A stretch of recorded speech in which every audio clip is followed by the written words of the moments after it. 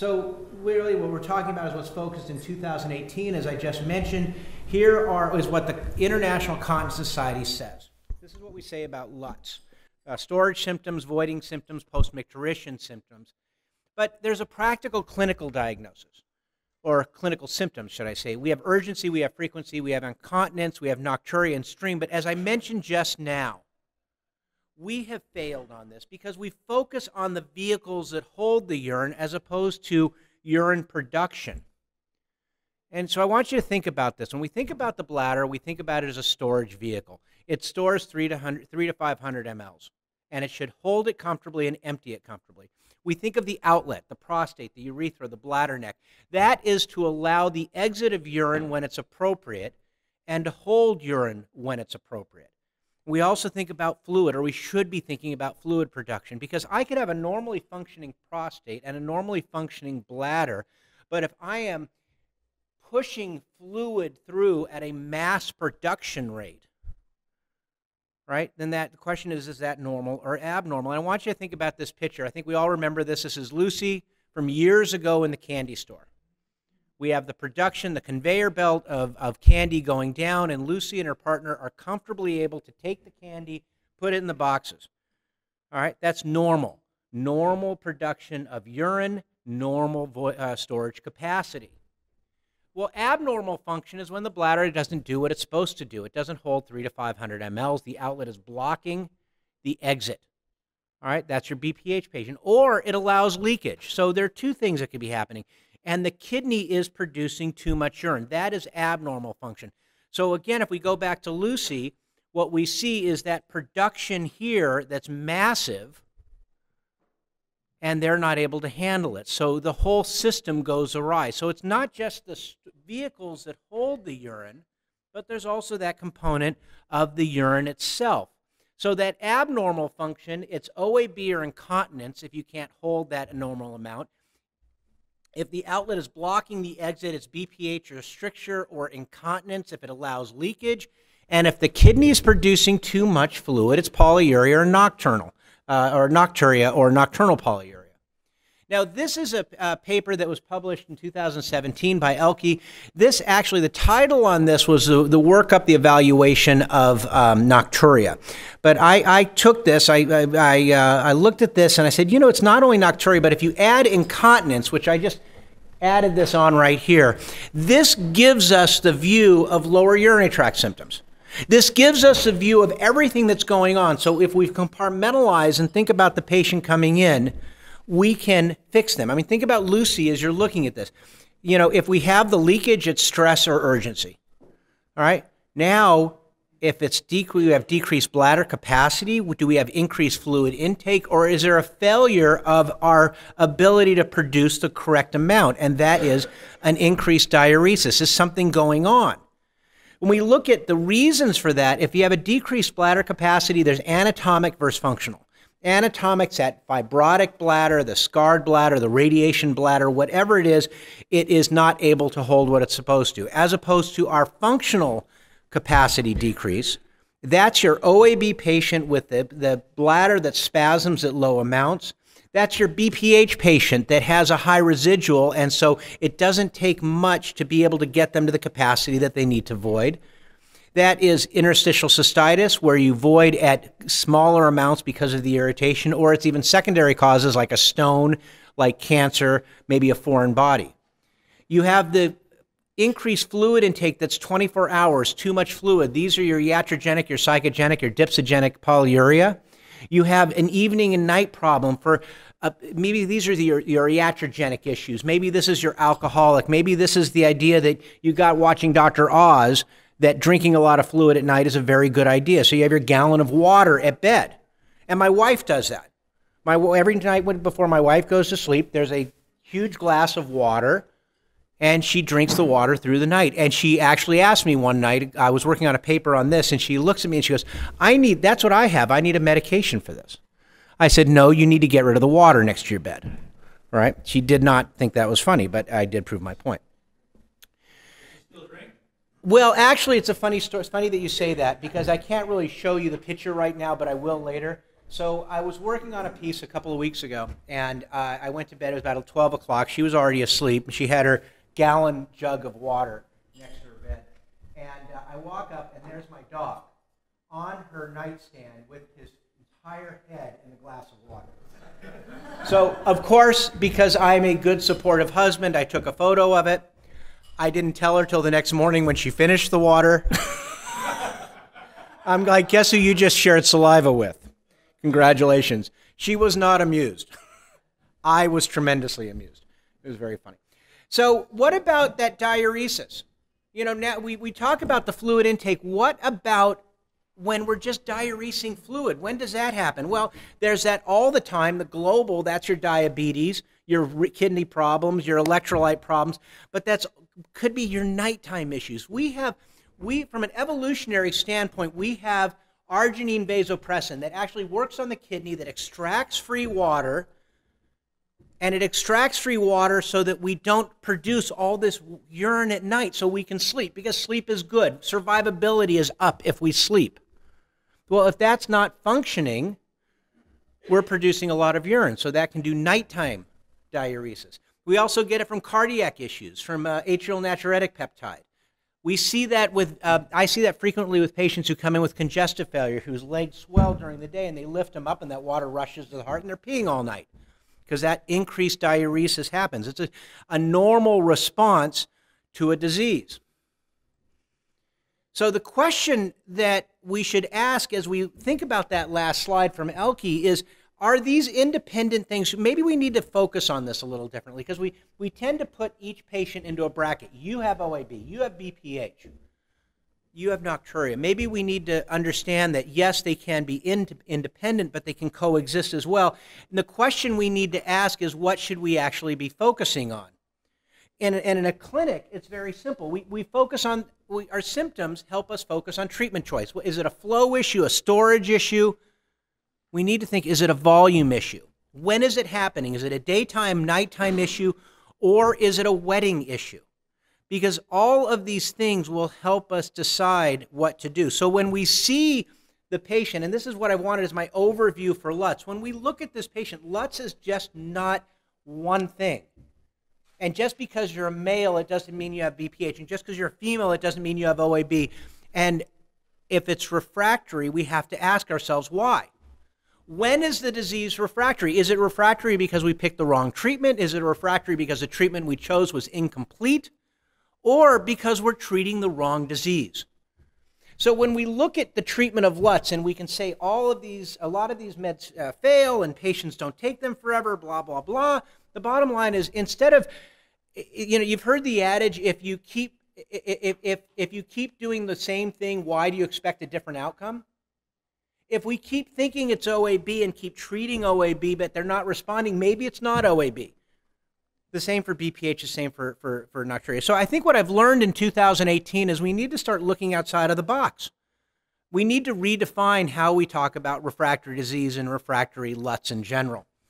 So I want to shift gears and, and I'm going to talk about two different things that are new for 2018. One is what can we do in refractory OAB if in fact they have it, and the next section will be talking about nocturia. So if we define overactive bladder, go back to the ICS definition, ur urinary urgency, frequency, nocturia, urgency, uh, with or without urinary uh, urgency incontinence in the absence of pathology. The reality is a lot of people have it. This slide just shows it. A lot, 30 million people have it. We understand that, more women than men, but as they're younger. As men age, they get the same amount of issues that women do if we look at the AUA and the SUFU guidelines, I think it helps us understand how to treat this. And I, I always like to show this. A first line is behavioral modification. You know, look at look at my wife. I'm having an issue. I drink a lot of water. Stop drinking the water.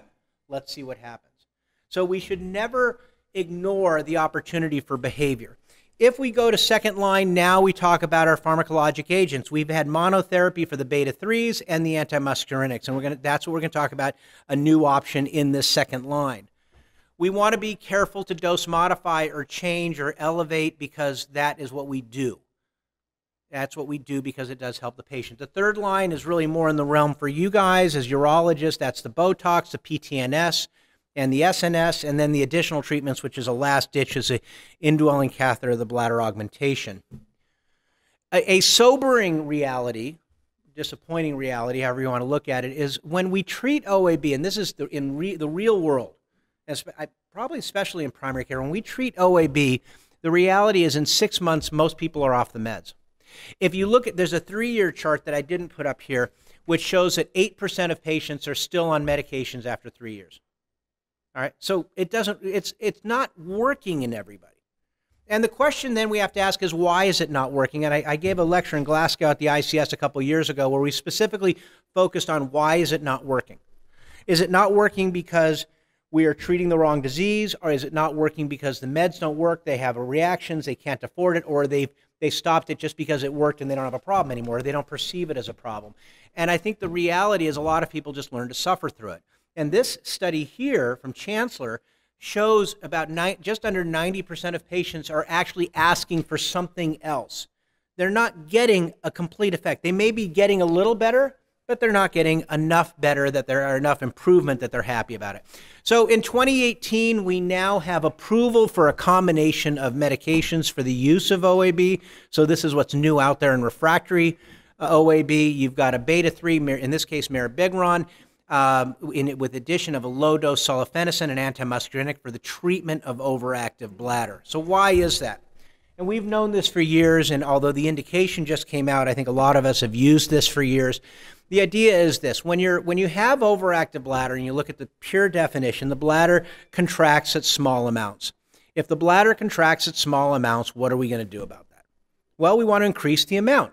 We want to increase the amount the bladder can hold. So you can stimulate the antimuscarinic, or you can block the muscarinic receptor, which actually blocks contraction, so that can hold more or you can activate the beta 3. The beta 3 allows relaxation, that holds more. So, obviously, two different receptors, two different MOAs, different side effect profiles. Can you get a synergistic effect? And that is now what's available. So, I'm going to show two studies here on how this works. The first study is Synergy 1. This was a forced study, so what they did, a placebo run in randomization, they basically put you into a combination versus placebo versus monotherapy using mirabegron at a 25 or 50 milligram dose and keeping solifenacin at a 5. Typical for a LUT study, it was a 12 week study, and then you had a run out. I want to show you the baseline characteristics because I do think it's important to look at this. Who is the patient that we're studying when we do LUTs? All right, and it's important to remember this for the next uh, uh, patient characteristics I'm going to show you on the next study. Mainly female, you see the age just under about 60, you see mixed, uh, mixed stress, duration of symptoms, uh, long time, you see prior OAB medications, quite a bit of them. 50% of these patients have tried something. So the question is, it's not, whatever they're taking is not working or has not worked or they just stopped it altogether. A lot of urge incontinence and micturitions. They're going 10 to 11 times a day. Well, you figure even if you sleep poorly, you're probably getting up twice a night to pee, right? So that means, you know, 8 to 10 times during the day you're voiding. Well, if you're awake 16 hours or 17 hours, that's a lot. You're, you're voiding a lot during the day. And the volumes are typical. And anytime you look at a LUT study, look at the volume because o, by definition, OAB is contracting at small volumes. So you better see small volumes as you look at your LUT. So remember that as I show you the next baseline study in a few minutes. When you look at the data, and there's going to be a lot of graphs here, what you're seeing is, is the number of incontinent episodes per 24 hours versus monotherapy worked. All right.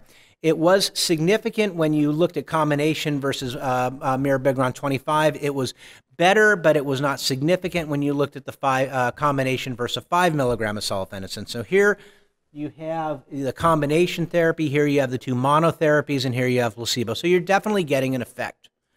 When you look at the uh, higher dose, uh, solifenacin 5 and the mirabegron 50, you don't have significance versus the 50, but you do versus a solifenacin 5 in monotherapy. Again, a definite benefit. It's trending both ways. Probably if it ran out longer, it would show significance. But you are seeing improvement enough that it might be worth trying that in that refractory patient. Okay. What about combination therapy for the number of micturitions per 24 hours? Remember, these patients are going 10 to 11 times a night. So what you see here is uh, is significance for both doses versus, I'm sorry, the low dose of the mono, uh, combination therapy versus the lower dose of the monotherapy. Here is the Sully 5 and the Mirabegron 25 versus the uh, Sully 5 versus the Mirabegron 25 versus placebo. So you're significant there for the reduction in micturitions. Here you see for the higher dose, the, this is a Solifenacin 5 and the uh, Mirabegron 50 uh, better than the Sully 5 alone and the Mirabegron 50 alone. So again, combination is helping. Now, this study here is my favorite study. This is a beside study because this is a real world study. What this shows is what I do in practice. In a primary care setting, and this may be different from what y'all are seeing in a urologic setting, I am not going to have a patient come in and say, I'm going to put you on combo right away. It's not going to happen. What I'm going to do is I'm going to start with one medication at a low dose, and then I'm going to add on if I need to. That's practical. In primary care, we like the idea of go slow, start low. All right, I'm sure you guys have heard that before. So in this study, you have your typical washout phase. You start with a low dose of solifenacin 5. If you achieved 100% satisfaction, doc, I'm happy, I'm done, you're out of the study. So, what they're looking at here is only patients who said, I could be better. And they say, I could be better. So, what are we going to do? We're going to give them something else. We're going to either uh, keep them on the solifenacin 5, we're going to increase the solifenacin to 10, or we're going to add mirabegron. We're going to do 25 milligrams for four weeks, and then we're going to go eight weeks of the 50. The only difference I would have done for myself is I, if patients were satisfied at the low lower combination, I would have extracted them. They did what's called a forced titration. But if you look at the data, look at the baseline. There's a couple interesting things here. You, you see this, they're, they're more female than male. You see the age about the same. Everything is about the same except for here. See that when we talked about the micturitions before, it was 10 to 11. Now it's 9. So these are people that are, this is real world. These are people saying, you know, yes, I'm voiding twice, two times less a night, but I'm not happy. I'm not happy because it still is not where I want to be. So these are now what I would consider your refractory patient. So if you look at the uh, combination therapy and the reduction of the number of incontinent episodes per 24 hours versus monotherapy, you have that improvement. So now your baseline goes down, you get even more benefit. You're getting even more benefit. There are two things to learn from this. One, combination is better than monotherapy. And two, for the patients that stay on the solifenacin 5, over time they seem to be getting better. So combination is definitely better, but it also teaches us to tell the patients to hold the line and keep working on things. So it's a very good option for the refractory case.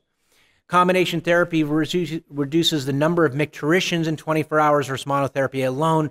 Again, it seems to work. You get a markedly better effect with combination therapy for that refractory patient. So you've taken that patient who had some effect, decreasing the number of voids by about two, but telling you, I'm not quite happy yet. It's not working for me. That patient, if you didn't offer them something, likely would have stopped the medication. Now that you're giving them something in addition, maybe they've gotten to their treatment goals. And maybe as a result, we're going to see more, um, more duration for them. They're going to stay on the drug longer and actually hopefully be better longer. This shows the uh, efficacy in combination therapy for the percentage of patients reaching incontinence. And I think this is kind of interesting because when a patient comes into my office, if they're having wedding accidents, they're unhappy. If they're having fewer wedding accidents, they're less unhappy, so they're a little happier. If they're having no wedding accidents, they're they're happy. And they're going to tell me, you know, this is working. I don't have to use those depends anymore. What this shows, this is now Sully 5 and 10 versus combo, is when you use combination, you're getting that goal getting more closer to that goal. You're getting more patients with zero incontinence and more patients who decrease the number of times they're incontinence. And that, what we've learned over time is wet is what drives people crazy. Wet is what brings them into the office. So if I can stop them from having the accident, they're going to be much more happier, uh, much more happy with those results. For fair balance, we got to look at what kind of side effects we might see when we're using combination therapy because we don't want to we want a synergistic efficacy but we don't want to make it worse for the patient in terms of their adverse events. The worst thing we see with the antimuscarinics has been the dry mouth. That's what if you if you look across the board for why people want to stop it dry mouth is the top. And we'll tell them hang in there over time it should get better which it does. However when you use com- the goal with combination is to go with can we use lower doses for a better effect and less side effects. And this doesn't show side effects of solifenacin 10, but we know with solifenacin 10 it is a markedly higher dry mouth rate than it is with solifenacin 5. So what happens with dry mouth here? You have placebo 2.2 with the mirabegron. You see a little bit of dry mouth, which is interesting because it doesn't have a mechanism for that. You definitely see it with the solifenacin 5, and it does go up a little bit when you're using combination therapy. So it's not perfect. It seems to be okay, but it's something to warn the patient. You're still going to have that, but we're just going to try to decrease it. And although it doesn't show it on the slide because it wasn't reported in the study, my guess is if you looked at solifenacin 10 uh, plus mirabegron 25 or 50, you would see a markedly higher dry mouth. And you did see that in some of the earlier studies that I'm not going to show here. The other things you see for uh, side effects, urinary tract infections, constipation, tachycardia, things that you need to warn the patient about. So I think in summary of this section, what we want to say is we have good opportunities in 2018 to better help our patient, and combination therapy is something we want to think about. Now, I'd like to shift gears, and is it okay if we take questions at the end, or do you want to interrupt? Because I want to kind of go section by section. Good. So let's talk about nocturia now. And nocturia has kind of come to the forefront because we have treatments for it. We have safe treatments for it. So the lesson learned, or if I were to teach you the conclusion for this section, is this is that sleep is good, nocturia interferes sleep, and we now have safe and efficacious ways in 2018 of treating it, which are treatment are options that we didn't have before. So if we look back to the ICS definition of nocturia as defined as waking at night to urinate with each voiding episode preceded and followed by sleep, cleaning, clinically meaningful if it's greater than or equal to two. We define nocturnal polyuria as production of, or 20% of your urine production is at night. If you're younger, it's 33% if you're older. I will tell you, I do not like this definition at all. It's, it's okay, but I don't like it. And the reason I don't like it is, not, is, is nocturia is actually when we produce urine at night that's greater than functional bladder capacity. Go back to Lucy we're creating more urine at night that overcomes our ability to hold the urine. As a result, we have to get up to void. That is nocturia. And that's how I discuss it with my patients. Because not everyone's bladder is the same. You might have OAB, you might have BPH, you might have a billion other reasons for it. But if your creation of fluid is greater at night than your functional bladder capacity could hold, you have nocturia. And whether you're bothered by it is a different story. And that's what I need to ask you. You're having this, you get up, are you bothered? But if you understand what I just mentioned about the nighttime production of urine, then you're going to understand that we either decrease the nighttime creation of urine or we increase the ability to hold the urine. It's as simple as that. So when we look at the definition of nocturnal polyuria, it's 20% and younger or 33% and older, we can tangle ourselves up with complexities and make patients do bladder diaries, but we're really looking at, we should be looking at it in a much more simple way. Now, what's interesting is, is when we talk about nocturia, and I remember I, I was at a meeting about a year or two ago, and I was the only primary care doc in the room, and we were talking about nocturia. And I, I, am I'm, I'm thinking about this, and I'm looking around the room, and of course, urologists think about nocturia. Because for us, for years, nocturia has been a symptom of OAB or BPH. You have a small bladder, contracts a lot, you void more often. You have BPH, you can't, you can't void very well, your stream is low, you have a high post void residual, you void at night, that's bothersome. But but those are only symptoms. And and I showed a slide in uh, in in Denver or uh, uh where we were in Colorado Springs this summer, and I, I tongue in cheek I put up a slide that said who owns urine. Nobody owns urine. It's part of every. We all deal with it. You guys deal with the structure that urine goes through. I actually deal with medications that affect our volumes, our intravascular volumes, and what goes through the kidney. So we all own urine. Nobody really owns it. But we've thought about nocturia being just urologic because of the OAB and the BPH. And the reality, it's not. We've got to start thinking out of the box here.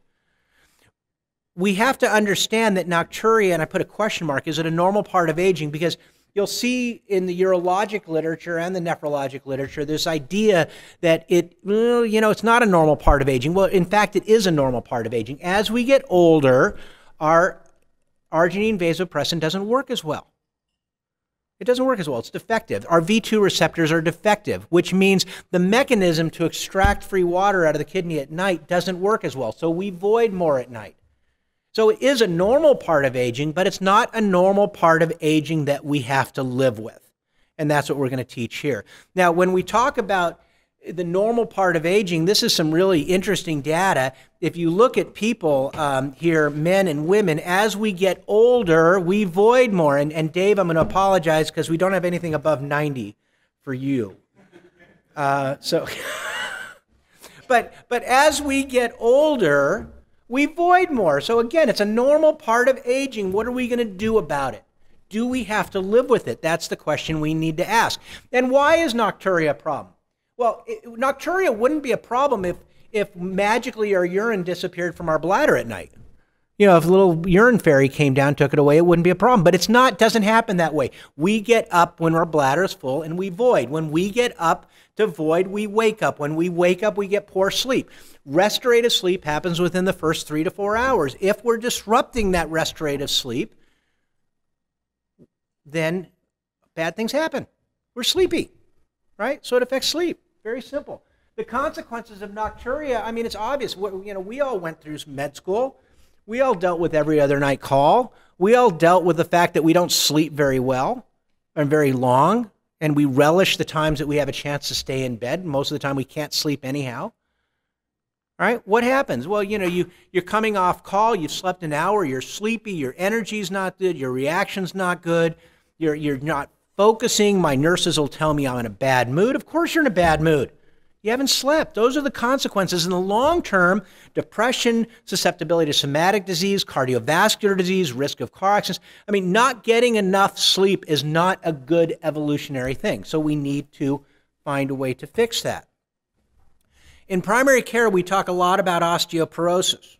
We talk about the fact that you should be shaking a bisphosphate so that when you fall, you bounce, you don't break. All right?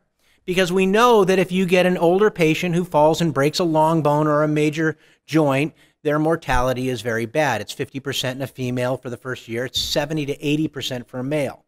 So it's not good. It's a very grim prognosis. So obviously, the more often you get up, and somebody did a study on this, the more often you get up at night, the more often you fall. Well, that's kind of a no brainer. So, as opposed to just giving you medications to allow you to bounce and not break, maybe we should think about preventing you from falling, preventing that whole activity from when you fall. Now, this is, a, is what we call a spider graph. I'm sure you've seen it before. The global view of this slide is that nocturia ruins your life. All right? If you look at this, nocturia is bad. It Affects all these quality of life. But I want you, I put this up only to focus on this one thing because what I deal with in my primary care setting and especially being in Michigan, I deal with high BMIs. People are obese. And we try to work on why you're obese. What can we do to fix this? Well, guess what? If we don't sleep well, we eat. We're fidgety eaters. Right? And we've learned this. Everything is affected if sex you're sleeping, which is really interesting. So when I saw this slide, and I was totally working on it only for nocturia, I actually brought this back to my colleagues, and there are uh, uh, quite a few of us in, in, the office, and I brought it back to all of my partners. And I said, maybe we should think about this differently. As we're talking to our obese patients about exercise and diet and portion control, let's find out how they're sleeping. Because are they actually eating because they're hungry, or are they eating because they're fidgety eaters, which is something that we certainly see with nocturia. So I thought that was an interesting side point. And this is my final point on that. It basically shows if you don't sleep well at night, your susceptibility to death is higher. Your survivability is bad. All right, so we know that. We know that. We know from an, again, from an evolutionary standpoint, sleeping is good. We know that not sleeping is actually bad. So, what are the risk factors for us? Well, we saw the slide that the older you are, the more often you get up. So age is a risk factor. There's also ethnic risk factors, med- uh, uh, uh, medical issues like diabetes, arthritis, asthma, hypertension, anxiety, depression. Childhood bedwetting is a predictor. We've known about that. For men, it tends to focus on the prostate for reasons why, additional reasons you might have nocturia. For women, high body mass index, heart disease, inflammatory bowel issues, UTIs, or anatomic issues. So, what have I learned as I've been working on this for quite some time? The, I can't pin I can't pin down the cause of nocturia because it, it, there's a lot of reasons, and it's a lot of combined reasons. I mean, we talk about the urologic being the BPH and the OAB. That's certainly a cause. It's also nephrologic. It's the kidney. It's hormones. It's sleep issues. It's cardiovascular issues. It's like my, you know, what happens to my wife, it's intake issues. So we have to pull all of this together as we're trying to figure out what to do. And as I've looked at this, I, have I, some parts have been made more simple, and some parts have been made a little more complex what I, I realized is that we first of all we need to do what we all do in the office anyhow. We need to look at their evaluation to see is there something causing this that i should know about? Are you a poorly controlled diabetic? Did you recently have surgery? Is there a medication causing this? Is your physical exam clear? If, if i'm asking you to void is the voiding apparatus normal? Is the outlet normal? All right is your prostate okay? Do you have appropriate sphincter tone? Is neuro, everything neurologically okay the voiding diaries, I think, are useful because it keeps an awareness issue. Like with my wife would look at a voiding diary and say, "Oh my God, I'm drinking a gallon of water," and she would change that. But I don't think it's important for the volume issue because we're going to treat it regardless. The labs certainly we want to check the urine for infection. We want to check the blood uh, for diabetes. You know, so there are th- basic things that we want to keep an eye on. And that brings me back to a second part of this Oelke, uh, Oelke graph. How do we treat it? Well, we focus on the problem. And the first thing you should you should learn from this under the treatment of nocturia for either decreased bladder capacity, increased fluid intake, or increased diuresis is this.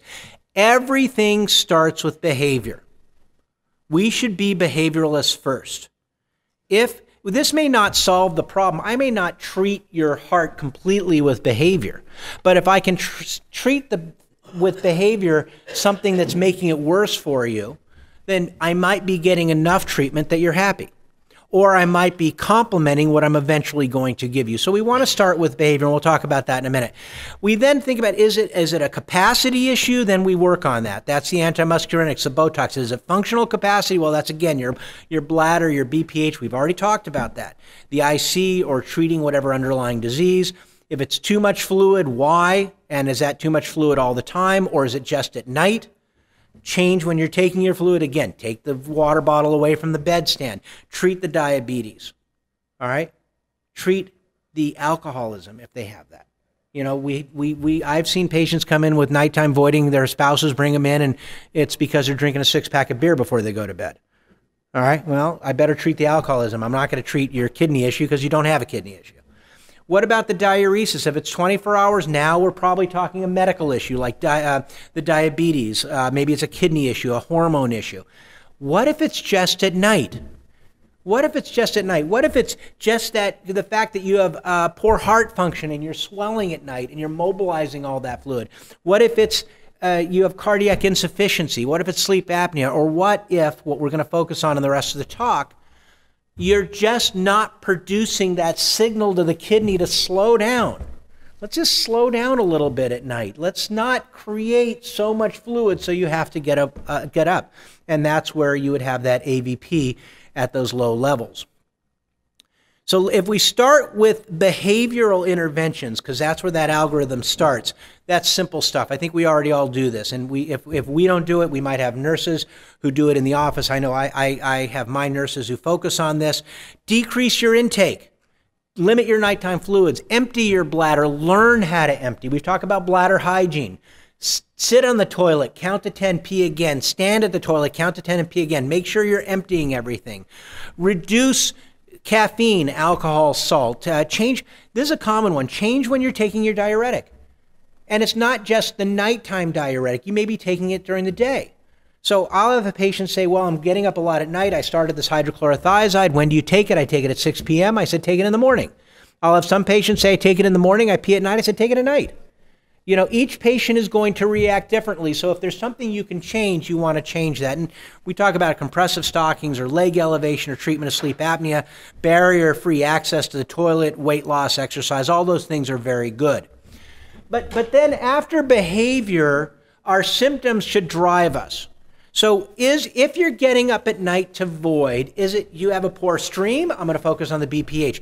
Maybe it is that urgency factor with OAB. I'm going to treat that. Maybe it's your sleep disorder. But the reality is 80% of those patients are here with nocturia due to nocturnal polyuria. And then we have to treat the cause. Now, this is the cause, and, and this is meant to be confusing because it's confusing to me. Is it an overconsumption issue, the behavior, the environment, the diabetes? Is it an overdiuresis issue? Or is it a too little antidiuresis issue? All right, so it gets complicated, and the reality is most of us aren't going to be able to exactly pinpoint that. But as I've worked in this for as long as I have, I've come to a recognition that we the etiology might not matter as much as we think it does. Because regardless of the cause, nocturia is the production of nighttime urine that's greater than functional bladder capacity. All right? So why don't I just decrease the production? What is going to be harmed if I just decrease the function, just, just uh, decrease the, the creation of urine at night? Maybe we should think about that. Maybe we go back to the mechanisms of action here. We know that Arginine vasopressin is uh, produced in the hypothalamus, goes along the fibers to the posterior pituitary where it's stored, it's released, it goes to the collecting duct, it extracts free water. All right? This here, probably about 100, 150 mLs. All right? Can we extract something like that from the kidney so that we don't produce that at night? So that our night we reduce our nighttime production because what happens is the AVP pulls out the free water. That's the normal action. As we age, it's less less potent. So there's this idea that why can't we pause the kidney? Why can't we do this? Why can't we tell the kidney, let's let's let you sleep. I'm going to hit a pause button right here. And that pause button is going to tell I'm so sorry. Sorry about that. I left it in my pocket. Bad. Yeah, there you go. So, yeah, I'm with the dog. So, why can't I pause that urine production? Why can't I put the, give the person, the patient desmopressin, pause the kidney at night, tell the kidney, you know what, you're doing enough work during the day, slow down, let me pull some free water out so you don't produce as much urine. That's what we call pausing the kidney. That's a term we've just started using. So we have desmopressin that's available in different formulations. We have the nasal spray, the sublingual melt, we have the tablet. The tablet is not indicated for nocturia. It's certainly not directed for nocturia due to nocturnal polyuria. It is not indicated. It's not indicated because of safety reasons. For all the reasons that we didn't necessarily, we weren't necessarily fond of desmopressin in the beginning, because of some of the side effects, it is not indicated. But now in 2018, and this is the new stuff, we do have medications that are indicated. We have a nasal spray and a sublingual melt that are indicated for nocturia due to nocturnal polyuria. So let's, for the next couple slides, let's explain how they are, let's explain how they work, and let's explain why they're safe, why it's safe to use in 2018. The nasal spray was studied in patients greater than or equal to 50 the sublingual melt in patients greater than 18. The nasal spray has two doses at 0.83 and 1.66 that are titratable. You have a Tmax of 15 minutes for the low dose, 45 for the, the uh, higher dose. For the sublingual melt, the, the, the uh, onset of action is 30 minutes, the avail, um, and the available dose is 27 or tw- uh, 55 for men. And these are gender specific. And this is an important differentiation. You have a titratable dose with the nasal spray. You start with a lower dose if you're 65 or older for safety reasons that I'll explain in a minute. It is gender specific for the sublingual melt, and I'll explain why that is as well. So, if we look at the efficacy of the medications, what we want to do is look at a typical study design. We have patient characteristics, as you see there. These are across all the studies. So I just wanted to show this as a typical design to point this out. These patients are really affected by their nocturia. They're voiding th- more than three times a night. Nocturnal polyuria is present in 90% of them. It's not OAB, it's not BPH, it's something that's happening here, and they're creating a lot of fluid. And a lot of these patients have OAB and BPH, which is to be expected. So let's start with this. If we're using a medication to stimulate arginine or mimic arginine vasopressin to pull free water out of the kidney, what's going to happen? We're going to decrease volume. So if any of these meds work, this is the first thing you want to see. Are you pulling fluid out of the kidney at night and how much are you doing it? So here's the sublingual dose. It's a lot of things we could learn from this slide. First of all, what you see is it's titra- there's titration. You have 10, 25, 50, 100. What you see is it peaks for women at a different point for men. That's part of the reason why it's gender specific. Part of its efficacy, part of its safety. That's the first thing you learn. The second thing you learn is placebo works damn well. All right? Now, placebo is obviously not doing anything chemically to the kidney, but this shows behavior. This shows when a patient is in a study on lower urinary tract symptoms, they are paying attention to how they urinate and what they drink. So if you ever question the strength of behavioral therapy, look at the, the placebo dose of any of any uh, drug in any LUTS study, and that'll show you the strength of behavior. Now let's think about the effect here. What you have is in the, the baseline here is about 800. So in here, they're voiding about 300 less. What does that mean? Well, if your bladder fills at two to 300, you are voiding one to one and a half times less because you're producing less urine. What does that do? Everything else will follow through. You're, you're producing less urine. When you look at the nasal desmopressin, the same thing. First of all, placebo works great, power of suggestion. But when you're looking at the higher dose, you're getting about 300 mLs less. It starts at 804 as a baseline, 300 less. You're voiding less you're filling up less at night, you're voiding less, you're taking care of the fact that that overproduction of urine at night exceeds functional bladder capacity and everything else will follow through. So these things work. So this is really the only efficacy data I would ever need to see. But if you look at the papers, excuse me, you'll see the de- with the nasal desmopressin, the decrease in nocturnal voids, placebo works well, drug works better, up to 1.5 for the higher dose, 1.5 decrease in nocturnal voids. You see the same for the sublingual desmopressin. You see the mean change in nocturnal voids goes down and the adjusted mean number of voids go down. So you, what you're seeing is a, an effect of what happens when you're introducing less urine to the bladder. And this shows it in women and this shows it in men. Well, what about in the long term? In the long term, you want to make sure these work because over time, does the body start to adjust? And what you see here is not only does the body not adjust in a 52 week trial in the sublingual, it stays the same for the women. It actually gets a little better for the men. So over time, it will continue to work, which is certainly beneficial. If you're producing less urine, what does that mean?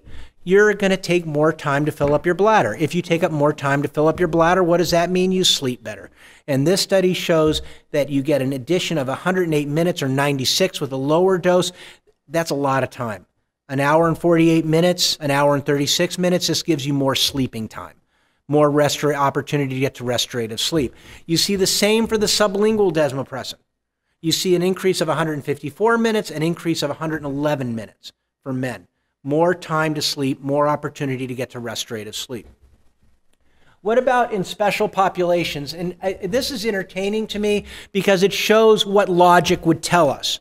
If you have OAB and if you have BPH, it may be a mixed bag you may just be creating too much fluid in addition to having a small bladder, in addition to having a large prostate. So these studies here show that when you add it with tamsulosin with a, men, a male with BPH, it's going to improve them because you're giving them less urine production. And the same with tolterodine added to women. You're getting less urine production, which means their bladder is going to be emptying less. Now, it's important to look at the drugs for not only for efficacy but for safety. And we look at them, we have comparable package inserts. With the sublingual desmopressin, what we see is, and here you see the drug names for the first and only time, they can cause hyponatremia. This is what we worry about. We worry about hyponatremia being bad. We worry about the fact that they could be taking medications that could exacerbate it, like the um, like loop diuretics or systemic or inhaled glucocorticoids. We talk about the fact that we have to watch it. If we talk about the fact that if you get it, you probably need to stop the medications. But let's talk about the hyponatremia a little bit because that's what we worry about. And something we've learned from the studies is that the, the higher the dose of the desmopressin, the less amount of time that the body gets a chance to equilibrate. So if you're using a low dose desmopressin, you're giving the body time to equilibrate, to fix itself. The kidney is a very smart organ, it'll equilibrate. And we're only pausing the kidney at night. So the time for urine production, this is with the sublingual, is about five hours for men and women. The time for the high urine osmolality is about three hours. So we're giving the body the time to equilibrate. So if that's the case, do we get high, less hyponatremia? And that's what the studies have shown in the with the nasal desmopressin, this is the hyponatremia that we see at the 130 to 134 range, which we look at. We don't really make any changes. We watch. That's where the higher amount is, but it's not very high in and of itself. 126 to 129, I'm going to watch. I'm probably going to stop the drug. And less than 125, we certainly get concerned with. When we look at that, we see 0.3 for placebo and 1.5 percent five people in the lower in the um, for the higher dose. So let's come down on that a little bit. What we see is it doesn't happen to anybody below the age of 65. We see one with placebo. Again, I can't explain that, but you see them all with the patients in the higher dose. So that's 2.6% of the higher dose in the older population. So age is a risk, number one. Number two, four, four of the patients, four were male and four were on contraindicated drugs. So if we watch the drugs, beware of the contraindicated medications, we are going to be fine with that. We're just about to wrap up here. We've got the hyponatremia with the sublingual desmopressin. Let's look at the sodium less than 130 here. Now you see all the titration doses. And what you see is the higher the dose you go, the more risk you have. We've got the sweet spot at 50 for men for efficacy and safety, 25 for women. For the less the sodium less than 130, there are the 50 micrograms. Nobody less than the age of 65, 11% in the patients above 65, 2% in the women less than 65, and 4% in the women greater than 60 uh, than 65. If we look at the sodium less than 125, which is our danger zone, you get nobody, no men under the age of 65, no women under the age of 65, no women over the age of 65, and 3% for men over the age of 65. So that's a low amount. It's equal. It's, or it's, it's comparable to the uh, nasal spray. And what that teaches us is we still need to keep an eye on this, but it's a low percentage. If you look at it over the long term, you also see the safety. You see the higher numbers, 130 to 134, with the 126 to 129. You still have 4% and 10%. This is why we continue to watch, and only 1% less than 125. Again, this is why we continually watch the drug.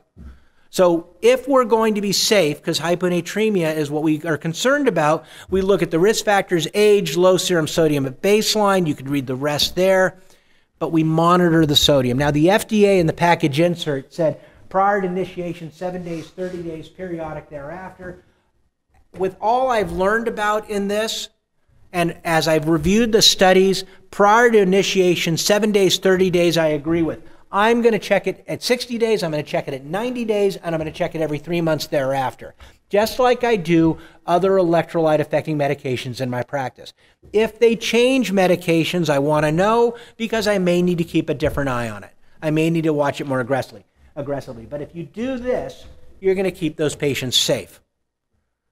So as we wrap up here, what I've learned on nocturia is it's just not the bladder, the prostate, or the urethra. All right, we have to worry about urine production. And this is where we, as primary care and urologists, need to work together. I need you all to treat the BPH, the OAB, when they're refractory, if I need help, if I need surgery.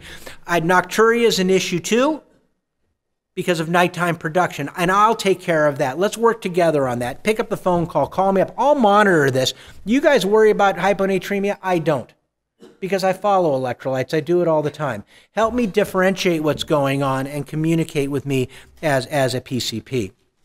So, my final slide for today there is more to the urinary tract than the bladder, the prostate, and the urethra. We have to consider what's going through. That's very, very important. To treat LUTS, we evaluate storage, flow, and production.